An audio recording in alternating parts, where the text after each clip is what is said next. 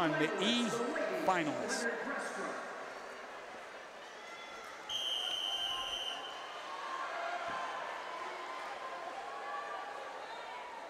There's that Fox cap. Great shot.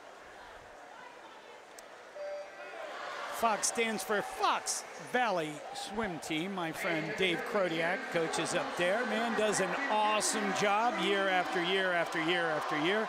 Not that he's an old man or anything. Four lengths of the pool breaststroke. A lot of resistance in the breaststroke. The rules are that you must stay pretty submerged. You can't really do overarm recovery. Hence, it's a lot of resistance. Therefore, makes it the slowest stroke. Center of the pool, Team Suffolk Denise Phelan with the lead at a 29.17.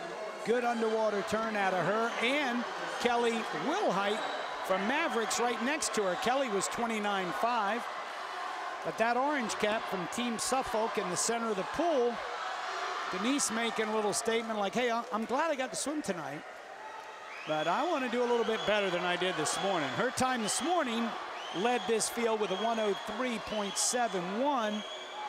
She was 29-1 on her first 50, but touches 102.76 under that junior national time. Look at her, she's very excited. Okay, wait, did I get it? Yes, I'm going to juniors this summer. There you go, great swim for young Denise, 14 years young.